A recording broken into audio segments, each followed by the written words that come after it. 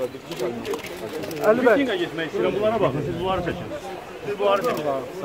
Yaxşı adamlarla nə işiniz var? Mən mən burdayam da, mən burdayam. Məni hara aparmaq istəyirsiniz aparın. Mən burdayam. Məni hara aparmaq istəyirsiniz aparın.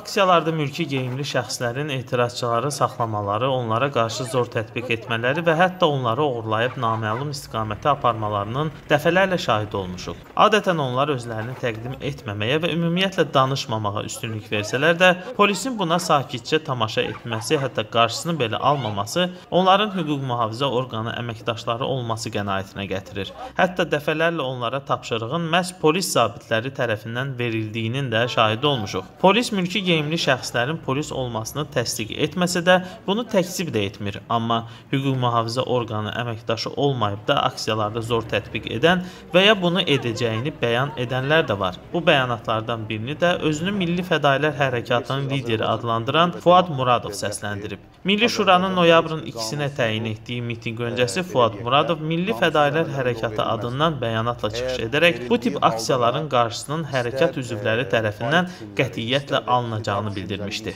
Biz o bəyanatda qeyd etmişik ki, əgər anarxist, xaos düşüncəsi ilə ölkəmizdə o düşüncələri tətbiq eləyə bilən, tətbiq eləmək istəyən insanlara qarşı biz o mitinqdə iştirak edəcəyik və Azərbaycanın dövlətinin, Azərbaycan dövlətinin güc strukturlarına qarşı törədilən mənəvi terror hadisəsi bu e, hansı ki bloger Əli Kərimlinin sayəsində olan bir şeylərdir və biz onların öz dillərində adekvat cavablarını verməyə biz hazırıq və Azərbaycanda qanunsuz mitinq təşkil edərlərsə, növbəti dəfə o mitinqdən, e, o qanunsuzluqdan istifadə edərlərsə və onların istifadə etdiyi qanunsuzluğun adekvat cavabı bizdən gələcək, Milli Fədailər Hərəkatından.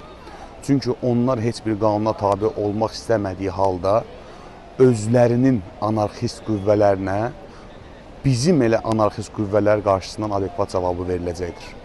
Və bu ölkəmizin sabitliyi, ölkəmizin firavanlığı heç bir şəkildə pozulmamalıdır. İnsanlarımızın rahatçılığı heç bir şəkildə pozulmamalıdır və əgər pozularsa da, əgər onların əli aşiqləri varsa da, bizimlə Milli Fədailər Hərəkatında dövlət aşiqləri var, vətən aşiqləri var. Onların mitinqində lazımı cavablarını biz verməyə hazırıq və o mitinqdə də iştirak edəcəyik. Milli Şuranın Koordinasiya Mərkəzinin üzvü Gültəkin Hacıbəylinin sözlərinə görə Şuraya aksiya öncəsi təxribat yaradılacağı məlumatları daxil olmuşdu. Onlardan biri Milli Fədailər Təşkilatının dəstə yaradaraq mitinq iştirakçılarına qarşı zorakılıq tətbiq edəcəyi məlumatıdır. Gültəkin Hacıbəyli bildirib ki, bu yolla mitinqdə təxribatların və zorakılıqların ağırlığını polisin üzərindən götürmək istəyirlər. O əlavə edib ki, təşkilatın rəhbəri özü ona zəng edərək AXCP sədri Əli Kərimli ilə bağlı bağlı açıq təhdidlər səsləndirib. Bilirsiniz, Azərbaycan hüquqi və demokratik dövlətdir. Azərbaycanda heç bir qanunsuzluq, belə deyək də, qanunsuz əməllərə yol verilməzdir. Əgər verildiyi halda da istər e, müxalif düşüncəli, istər də iqtidar düşüncəli insanlar lazım cəzasını çəkməyə hazır olmalıdır. Və biz fədailər də o lazımı cəzanı çəkməyə biz hazırıq. Orada həmin mitinqdə nə olarsa da onların öz dillərində özlərinə qarşı adekvat cavabı veriləcək. Dövlət strukturları var, xüsusi xidmət orqanları var deyirsiniz. Bunlar qanun çərçivəsində istənilən bir addımını atırlar. Lakin onların xaos düşüncəsindən yaşayan insanlar o qanuna da tabe olmaq istəmirlər və onların öz düşüncəsində biz onlara cavab verəcəyik. Biz də qanuni şəkildə cəzamızı çəkməyə dövlət qarşısında biz hazırıq və boynumuz qıldan incədir.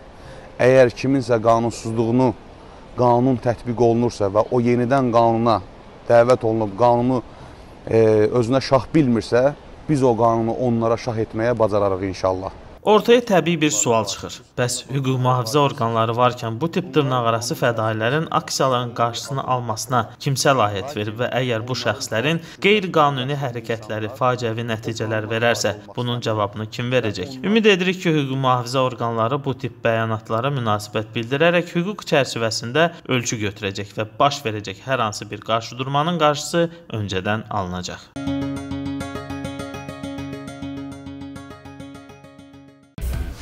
Linebet dünya üzrə ən yaxşı idman mərci oyunları ətrafında yaradılmış yeni onlayn bukmekerdir. Yüksək koeffisientlər, vaxtı-vaxtında ödənişlər, səxavətli bonuslar və bir çox şeylər sizi Linebet-də gözləyir.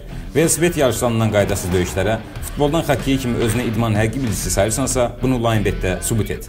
Qeydiyyatdan keçmək üçün videonun şərh bölməsində olan linkə tıklayın və qazanmağa bu gündən başlayın. İlk depozitli oyunçu 100 avroya qədər 100%lik bonus əldə edir.